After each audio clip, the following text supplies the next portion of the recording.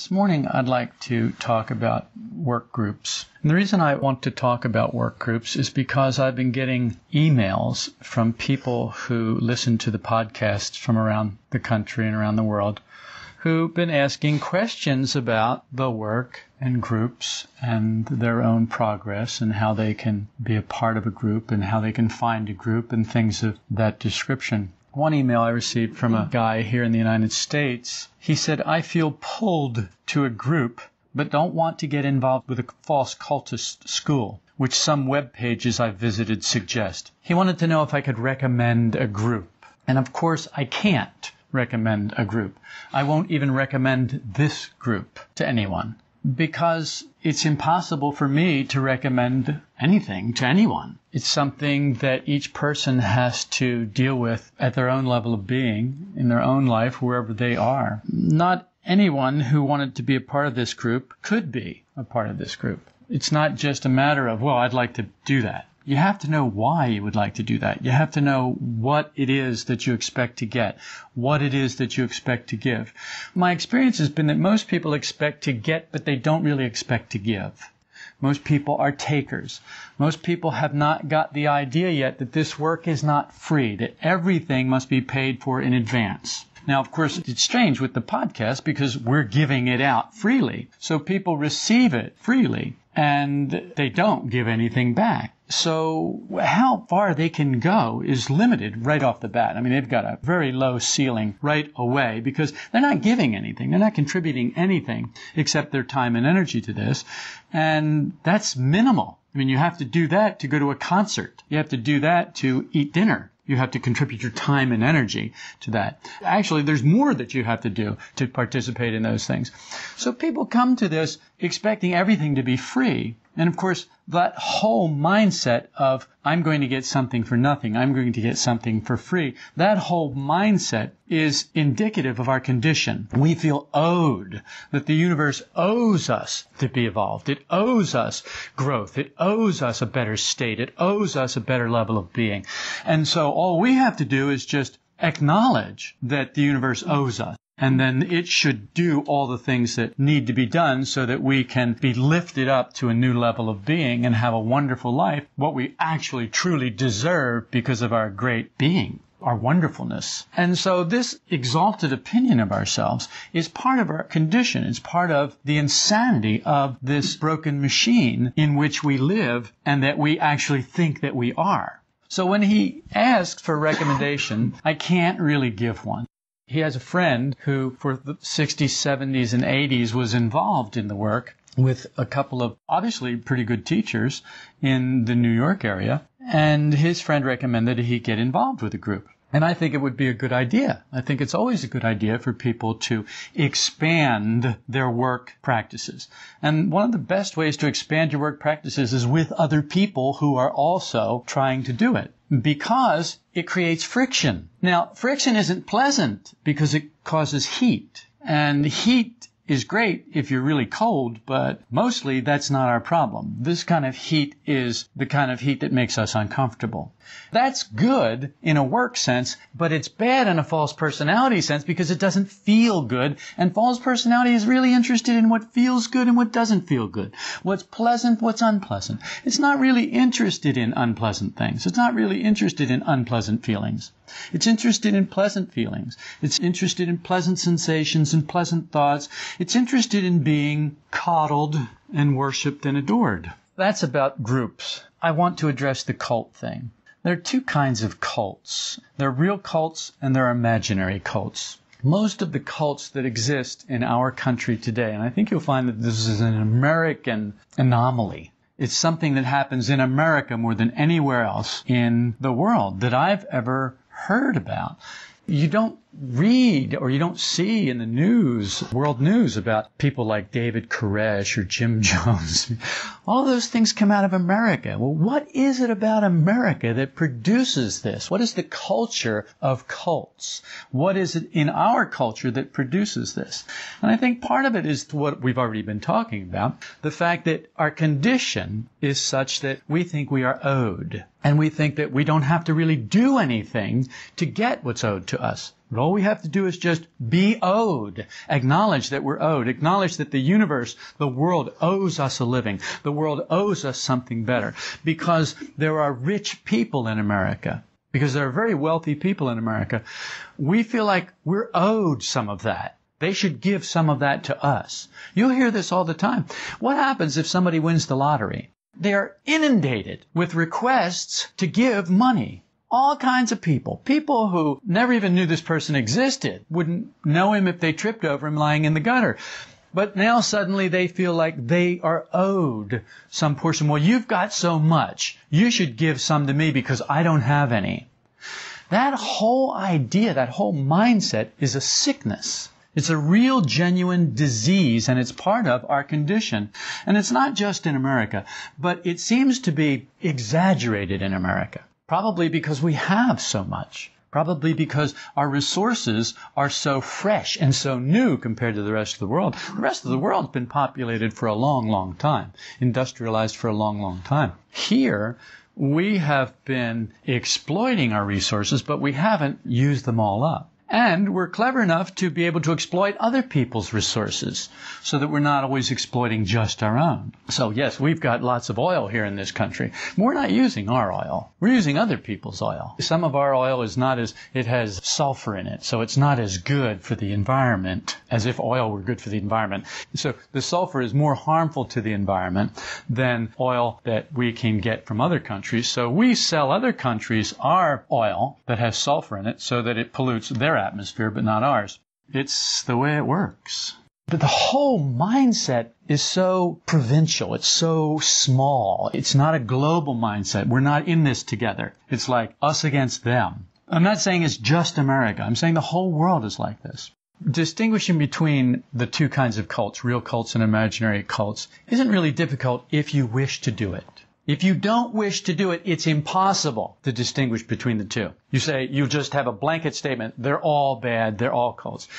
The history of cults in the world is an interesting history. Christianity was a cult. The cult back then was called a sect.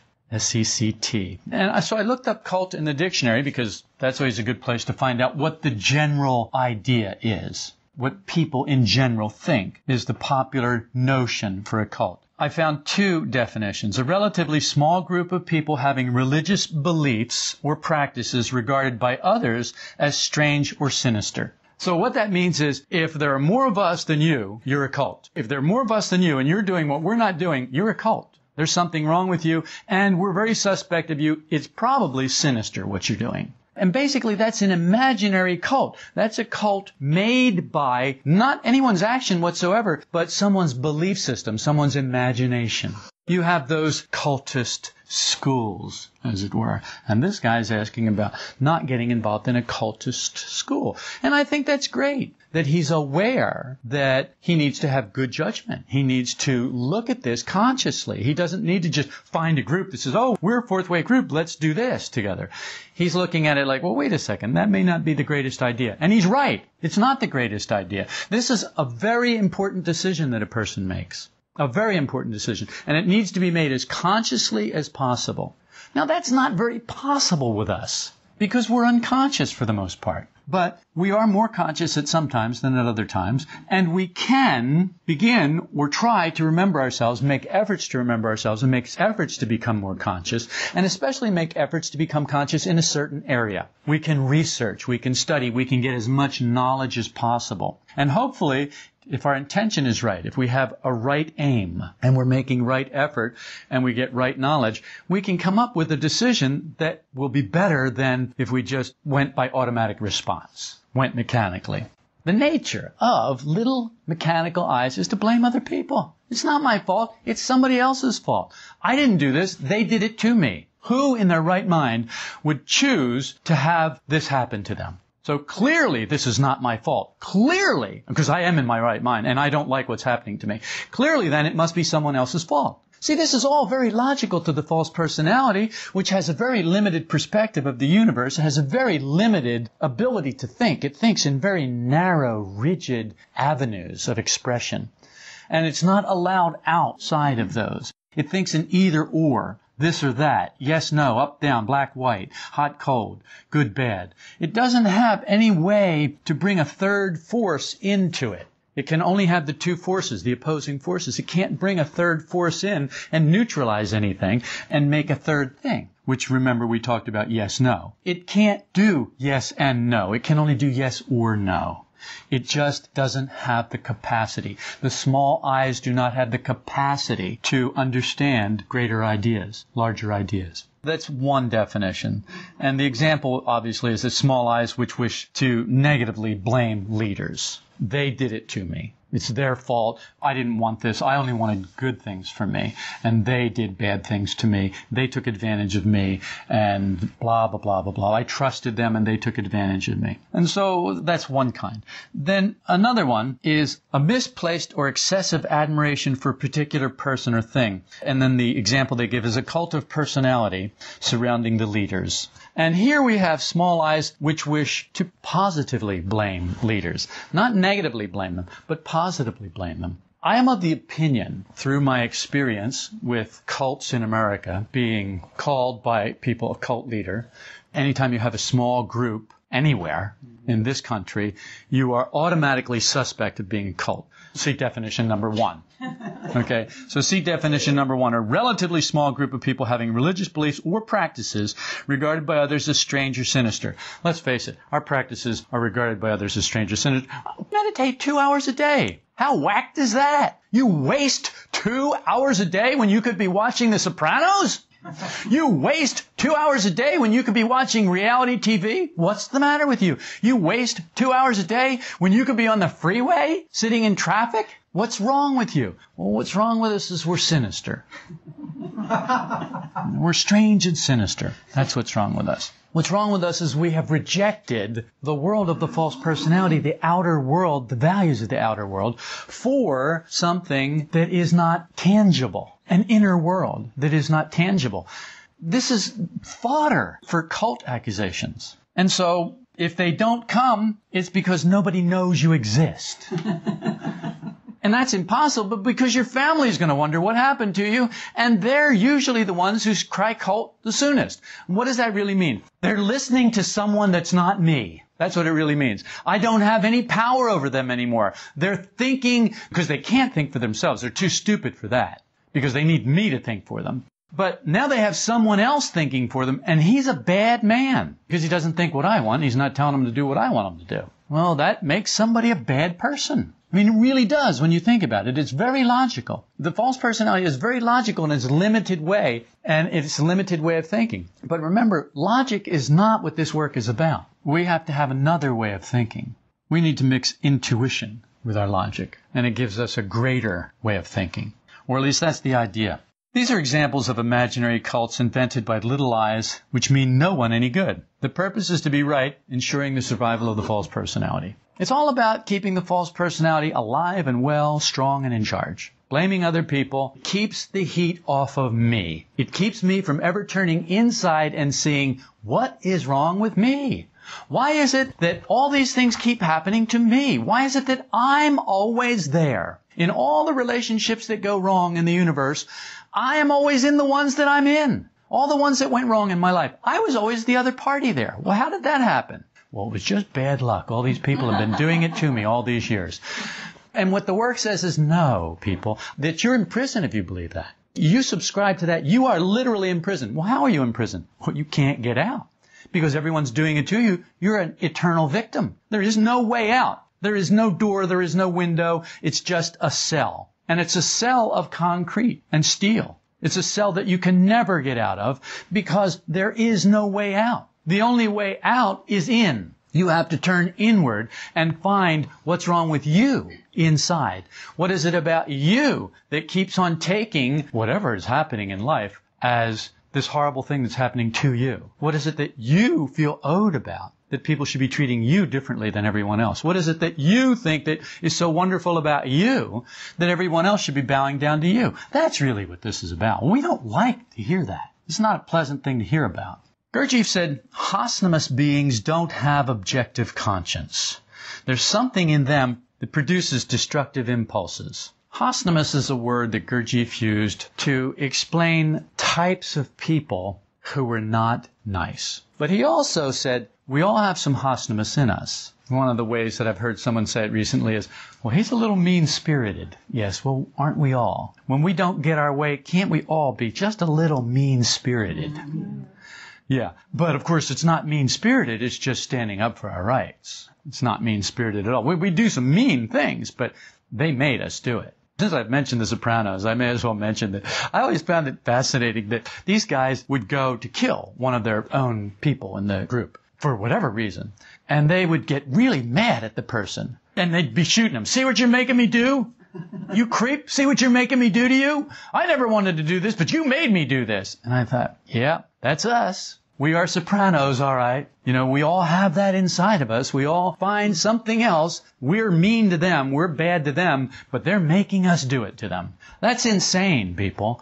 But it's that kind of insanity that runs our world. And I don't mean our world in the big sense of our world, the planet Earth. I mean our world, your world and my world, our personal worlds, and carry that out in scale to the whole world. Because let's face it, what's happening here is happening out there, and what's happening out there is happening in here. It is a microcosm and a macrocosm. I mean, we are a microcosm within the macrocosm, but also we are a macrocosm, and the microcosm within us is the same as the macrocosm without outside of us. And if that got you confused, you're you're not paying attention because it's not difficult. A quick look on the World Wide Web produces a host of leaders who boast cosmic consciousness, enlightenment, being awake, being conscious, being super conscious. We even found an angel in a man's body. Now, I don't know who says this about these people. I don't know whether it is the people themselves telling their followers that this is what they are. My experience is that cults are made more by the people than by a leader. A leader cannot make a cult. It's impossible because a cult has to have followers, has to have people who believe something that isn't true. And why would anyone believe something that wasn't true? For their benefit. What causes a cult, in my opinion, and from my experience, is people who are using a leader to get what they want that they can't get any other way. So they pick some charismatic bozo because that's what leaders are. Leaders are charismatic bozos. They are. They're not very bright. If they were bright, they wouldn't be leaders. But they got the short end of the stick. And so here they are in front of the group leading. But let me ask you, anyone here ever seen a parade? Mm-hmm. Okay, so you've seen the guy with the big hat and the big stick with the ball on the end and the whole uniform thing who does the whole marching thing and leads the parade, haven't you? And everyone follows him. Now, let's say that the parade route is to go down 4th Street until you get to Sycamore, and then you turn left on Sycamore. And this guy, the, what do they call that guy? Drum major. Drum major. The drum major who's leading the parade. He doesn't make a left on Sycamore. He just continues right on down 4th Street. But the rest of the parade, they all know that they've got to make a left on Sycamore, so they do. But the drum major's still going down the street, and he can still hear the music back there because they're not too far away. But then sooner or later, he can't hear the music anymore, and it's like, oh, and he turns around and they're not there. And that's what a leader is. A leader is somebody who is a leader as long as he's going where the group is going. But the minute that he changes his mind and he decides he's not going to go where the group is going, he's no longer a leader. He's alone. So the people who make leaders are not the people who are leading. It's the people who are following. So who is responsible for a cult? How could I tell this guy how he can stay away from a cult to school? Easily. Be responsible for your own self. Be responsible for your own mind, for your own thoughts, for your own feelings, for your own life, for your own finances. Be responsible for your own belief system. Own your level of being. Own your consciousness. Oh, but it's so much easier to blame it on someone else. Yes, that's true. And that's what cults are about. Cults are about blaming it on someone else. It's like a con. No one can be conned who doesn't want something for nothing. If somebody comes to you and they say, look, I've got this watch I'll sell you. It's a Rolex. It's worth $5,000. It's pure gold. Actually, just the band is worth $5,000 today. The watch is worth another 10. But I'll sell it to you for, uh, how much have you got? um, I'll sell it to you for uh, $85. Because I really need the money. And it's like, what good is it going to do me? If I don't get something to eat, I'm going to die. If, you know, my kids are going to die. All this horrible stuff's going to happen. And you can take it to a jeweler and he's going to tell you. In fact, my friend here is a jeweler. He'll tell you it's a, it's a real gold Rolex and feel it, feel it. I mean, listen, and look, it keeps perfect time. Listen, it's ticking and everything. So 85 bucks and this $15,000 Rolex is yours. I'll even throw in the diamonds that are on the face for nothing. You buy the watch, you take it to a jeweler, you find out you got conned. Why did you get conned? Because you thought you were going to get something for nothing because you were taking advantage of someone else's bad situation, their misery, their suffering, their misfortune, so that you could reward yourself at someone else's expense. In other words, you wanted something for nothing. In a universe that you already know, you pay for everything. There is nothing for nothing in this universe. You don't know that. When I say you know that, I mean you intellectually grasp that. But you haven't a clue that that's true. Because you are constantly trying to get something for nothing. Your entire life is about, well, the universe owes me. Everybody owes me. You owe me. You owe me. You owe me. Our kids owe us. Our parents owe us. Our husbands owe us. Our wives owe us. The government owes us. People on the freeway owe us. They should let us out. They should not cut in front of us. They should go slow. They should go fast. They should go right. They should go left. They should buy our gas. They should wash our cars. We're insane. We're absolutely, totally, completely insane with this idea that we are owed. This is what causes cults. So when looking for a group, I don't care where you look. If your heart is right, if you have examined yourself, if you are willing and courageous enough and sincere enough and genuine enough to admit the truth about yourself and what you have observed there, as if it were an interesting stranger, you don't need any, to fear any cultist schools. You don't need to fear any man. You don't need to fear anything. I'll tell you what to fear. Fear your own ignorance of yourself. Fear that, because that is your worst enemy. Not the ignorance of another person. Who cares about this guy? Well, this guy, he drives a Mercedes. So? Lots of people drive Mercedes. Well, so what's he, a real estate agent? I mean, you know what? Was he a car salesman? So who cares? I don't care what he drives. What's that got to do with anything? What does he do? How does he treat you? Does he bring light to your life? Does he genuinely care about teaching you a system that he has found works or she has found works. You can determine that. This is not rocket science. You can determine that for yourself. Well, yeah, there's a little belief involved in everything we do. We have intuition, and let's face it, intuition is not measurable on a kitchen scale. You can't take intuition, well, I got this much intuition about this guy, and it certainly outweighs that. Unfortunately, it doesn't work that way. You've got to trust. You've got to know from experience that your intuition can be trusted, that it's not mingled with too much imagination. Notice I don't say devoid of imagination because nothing about us is devoid of imagination. Our condition is that everything about us is mixed with imagination. Everything. That's the way it is. I don't like it that way, but it is the way it is. And it's my job to tell you how it is, not how I would like it to be. And it's your job to tell you how it is. And if what I tell you doesn't go along with what you tell you, you've got a decision to make. The wise decision would be to doubt yourself, go within, and examine yourself and find out what's so. But not everybody can do that. Some people are so in bondage to pride and vanity they cannot do that. Well, then there's nothing they can do. This work is not for everybody. A quick look at the fourth way and its founder and teachers produces people who make no such claims. Cosmic consciousness, being enlightened, awake, conscious, superconscious, angels in men's bodies. Nothing like that. You hear from the teachers, I mean the original teachers. When I say the original teachers, I mean Gurdjieff, I mean Ouspensky, I mean Maurice Nicoll. Those are the original teachers from my perspective. Those are the three people that I rely most upon. That doesn't mean that I don't take a little snippet from here and from there, but that's the foundation for me. That's the triad for me upon which this stands. And those people's lives could be brought under a microscope and all kinds of inconsistencies found. But one of them will not be, I'm super conscious, I'm an angel, I'm this, I'm that, I'm enlightened. None of that. What they always said is our condition. We, we, man number one, two, and three, people like us. You never heard them boasting about there is no one who has a greater consciousness than me except Jesus Christ. You never heard that from any of them, and you never will. You won't read it. You won't hear anybody else said it about them because it just isn't true. They understood that it's not the teacher, it's the work. That the work is what guides us. if the work were not taking the place of real conscience, then the teacher would have to take the place of real conscience. That's not how this works. In this work, the work takes the place of real conscience. The system, until you can develop, until you can find, until you can make a path to real conscience for yourself, the work stands in that stead for you. It leads you in that direction. That's the purpose. Until you can discover real I inside of yourself, the work points you in the direction. Well, so what can the work benefit? See, a man can benefit. Well, I need a, I need a Rolls Royce and let's see. The ghost of Gurdjieff told me that you should give me the money to buy a Rolls Royce. okay.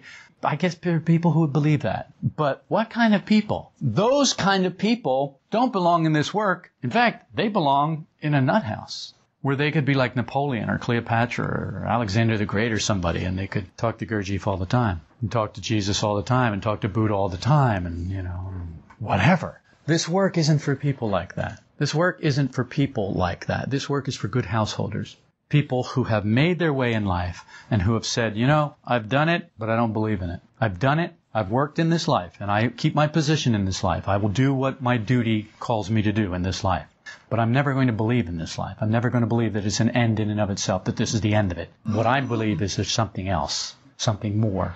And I want that something more. And I'm willing to give this to get that.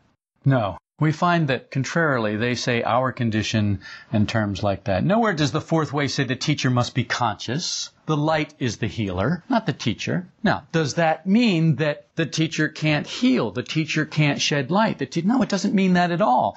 He can get it from the work, and so can you. Or she can get it from the work, and so can you. I don't want to upset anyone who has this feminist thing going on. What about he didn't say women too? Well, fine, women too.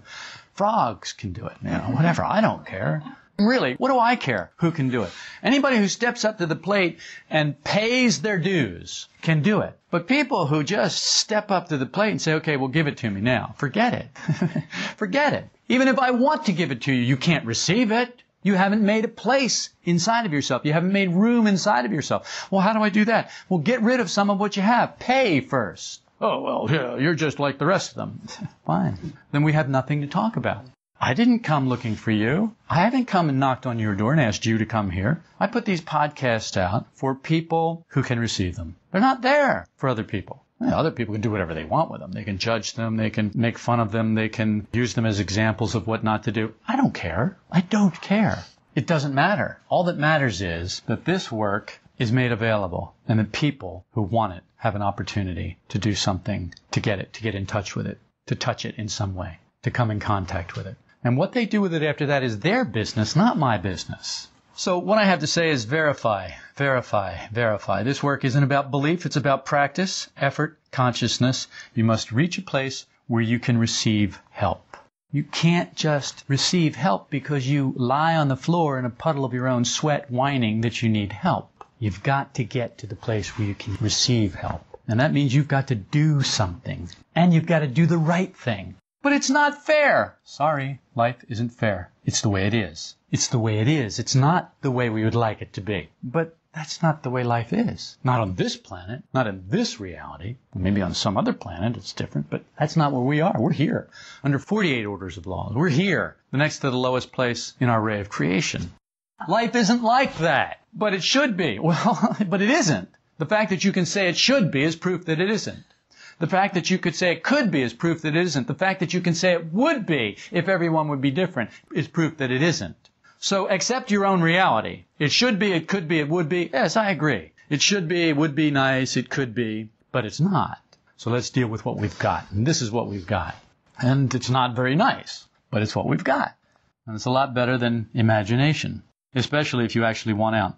So recently emails have come asking such questions as, is it possible to teach through podcast emails and essays? Yes, I think it is. And you are the proof of that. you are listening to this. You are learning something. You are having something in you reinforced. You are being given an opportunity to receive a knowledge that you don't get by just going to work. You don't get by working on your car. You don't get by going to a concert. This is knowledge that you don't get everywhere. Yes, it's possible for you to receive that knowledge. Yes. What is B influence if it's not this? Is it possible to read the Bible and learn something? Yeah, it's possible. Is it possible to read the Quran and, and, learn something? Yes, it's possible. Is it possible to read esoteric literature and get something out of it? Yes, it's possible. Is it possible to meditate and actually change your level of being? Yes, it's possible. Oh, wow, that's really neat. Yes, it is neat. Now you're starting to get the drift of it. Yes, it is. It's exciting, actually. To me, it's exciting. Can I progress in the fourth way, though I'm not in a group? I got this specific question. Is it possible? Gurdjieff and Ouspensky and all these people say, no, it's not possible. And I don't know what context that was taken out of, but I think it is possible, and I think we need to determine how much and how far. How possible is it, and how far can you go without a group? That's really the question. The question is not, is it possible to get something without a group? Yes, it's possible. Absolutely. How far can you go without a group? Well, I don't know that. How much can you get without a group? I don't know that. How much time can you trim off by being in a group? I don't know that, but I know you can trim off time. But I know there are other people who are in a group and who will trim off no time whatsoever. They will mark time, but they will trim no time off because they'll be in the group physically, but not in the group psychologically. They'll be in the group in an outer way, but they won't be in the group in an inner way. If it's not in the group in an inner way, all bets are off. So it's not a matter of your location, your physical location. It's a matter of your psychological location. Can you be connected psychologically to a group even though you're not in the same area? Well, yes, I think you can. We have a guy who comes from Denver once a month and sits in the meetings. Does he get anything out of that? Does he consider himself part of the group? Well, do you? Well, there you have it. So we have other people who listen to podcasts. Do I consider them part of the group? If they do, I do. Yes, if they do, I do. If they say, I want to be part of this group, fine. Then be part of this group. Do what we do. Observe yourself. Remember yourself. Study. Apply yourself. Practice these principles. Do the hard work. Make the effort. And we'll give you anything we have. But you already know that because you're getting this for free. Nobody's charging you for this. See, we've already learned about the giving part of this. We've already learned that in order for us to receive, we have to give. So we give first. We gave first because we know. Nobody has to convince us. We know. It's not belief. We have experience that backs it up, solid experience that backs it up. There's no question. Obviously, I think you can be part of the group. The influences come in many forms. Why not a podcast? There are many benefits of a group, and they parallel the efforts involved in being in the group. It takes more work to practice than it does to study. It takes more effort to practice these principles than it does to study them. People can be here in this room and study and not practice. People can be in Australia or France or Belgium or the Netherlands and study and not practice. So tell me, who is going to get more benefit from this group? Someone who is in Germany or Portugal who is listening to the podcast and practicing what we're talking about or someone who's sitting in this room and studying it. Well, the person who practices it. Doesn't matter where he is, he's going to get more out of it. Because that's the way it works. It's beautiful.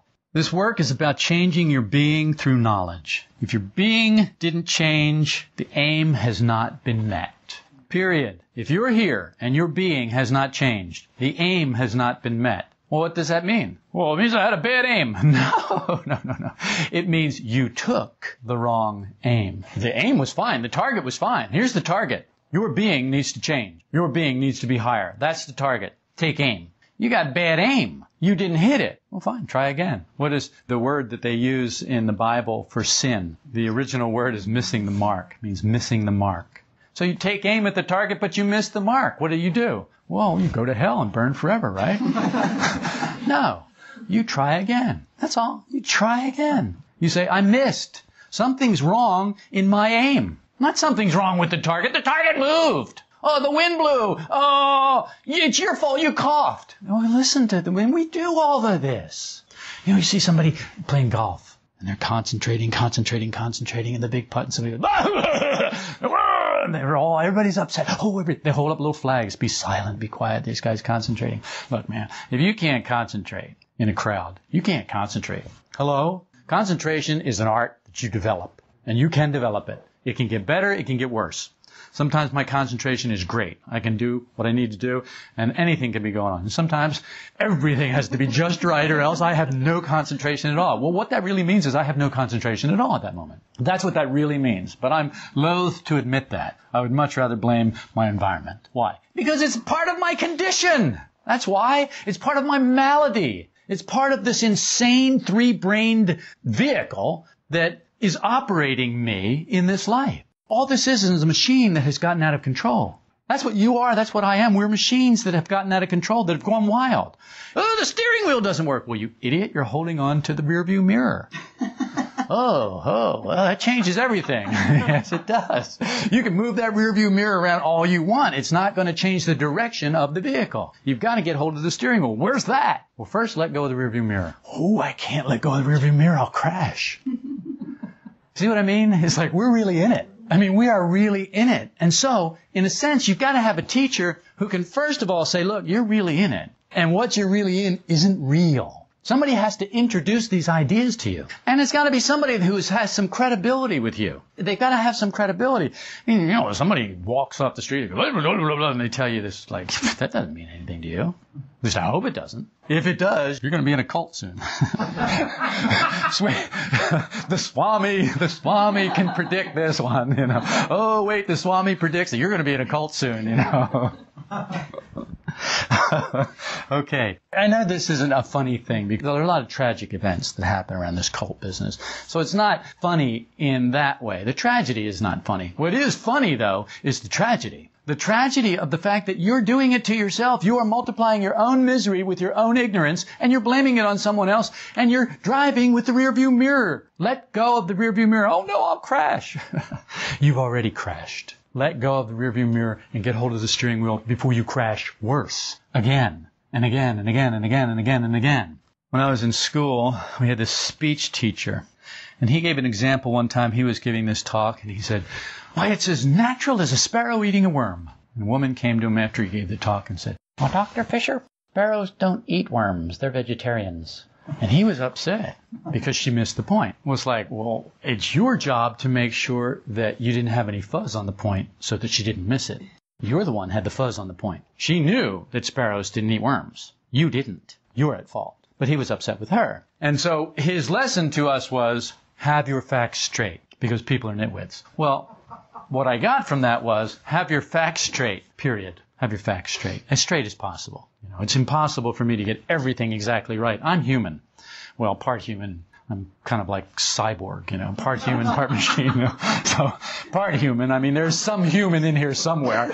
It's just if you can if you can hear the human crying out over the whirring of the wheels, then you're fortunate. You know, then you've probably got some human in you too. But actually, the truth is, is I'm part human and mostly machine. And I know this isn't good for a cult leader to say, but it's true. But this example of natural as a sparrow eating a worm is really an example of being. What the woman was saying is, look, sparrows don't eat worms. It's their being. Robins eat worms. It's part of their being. Well, but they both fly. They both have feathers. They both have two legs. They both have beaks. They both have two eyes. Yes, that's all true. There's a difference in their being. To raise your level of being means to change what's natural to you. Oh, it's very natural to you to blame someone else right now. To change your level of being means it will no longer be natural to you to blame someone else. Wow, that could happen? Yes, I have verified that. That can happen. It Doesn't happen with any regularity at first, but it does happen. In the beginning, it happens only now and again. But then after a while, it starts to happen with, with regularity. And you can start to depend on it, and you can start to say, you know, I think my being is changing. Now, if you want to go and tell everybody your being's changing, you're in for it. because only idiots do that. What is that about? It's all false personality just silly boasting of little mechanical I's. You're, you're in for trouble because those little mechanical I's always attract other little mechanical I's in other people. little biter I's. Little nagging biter I's. And they start biting everywhere they can. Sparrows can't eat worms. You know, the little, little mechanical I's. If you're going to live there, you're going to attract that. Ouspensky stated it was possible for a man to evolve without a group. He said it was unlikely, but it was possible. That's enough for me because it verifies that everything doesn't have to be as rigid as the machine likes to make it. That there is some flexibility with consciousness and that the conscious circle of humanity will find a way if your heart is pure. When I say if your heart is pure, I mean if you are sincere and genuine and really willing to look at yourself, to know yourself. The conscious circle of humanity is a group. If you can get in a place to receive help, you'll be helped by a group. Whether it's a group in Vista, California, or a group in Sydney, Australia, or a group in New York City, or a group in Lisbon, Portugal, or a group in Mannheim, Germany, it doesn't matter. It doesn't matter. London, England, it doesn't matter where the group is. We've already discussed this location business. What matters is, have you been able to get yourself psychologically in the place where you can receive help? No man is an island. We're all connected. The nature of higher being is sharing, compassion, love, harmony, light, balance.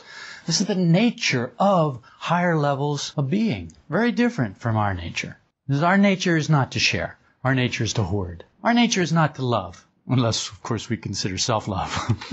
it's like, yeah, I love myself. Well, fine. Now love your neighbor like you love yourself. Oh no, you're asking too much. There's not enough of that to go around. Well, and that's just it. But the higher levels of being, they understand that because they don't have all the obstructions that are down here at this level. The higher levels of being have a clearer view of how things actually are, without all these obstructions, without all these buffers, filters, walls, and all the insanity that we live with that we take as normal life. You get your nose above that, things look very different.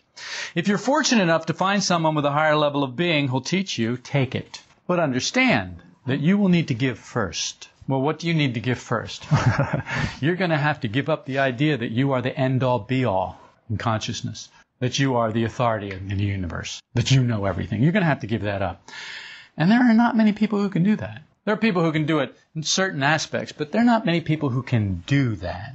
They reserve the right to veto. Oh, that's not the same thing. If you're the highest level of being, you can't have a teacher. Life may be your teacher in your imagination, and if your imagination will allow it, which is unlikely. Life becomes our teacher when we get to a certain level psychologically inside of ourselves, when we can begin to know ourselves. We begin to see what we're really like. We begin to separate between who we think we are and who we actually are. And we don't know who we actually are, but we begin to find out that who we think we are is a real mess. When you stop believing in yourself, at that point, something can happen. You can't be part of a cult unless you're looking for an easier, softer way, unless you're looking for something for nothing.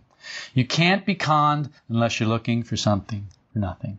A cult is a con, and anything can be a con if your being is low enough. And remember who makes cults? You do, not leaders. A leader is no more than a drum major leading the parade that you are. You change direction, that leader has to do what you want him to do. He's got to change direction too, or he's no longer a leader. So there's no one to blame. That takes the whole sting out of cult. Unfortunately, it takes the whole sting out of false personality's ability to blame too. So you can see which is going to go first. False personality will survive. So I can promise you that cults will survive long into the future.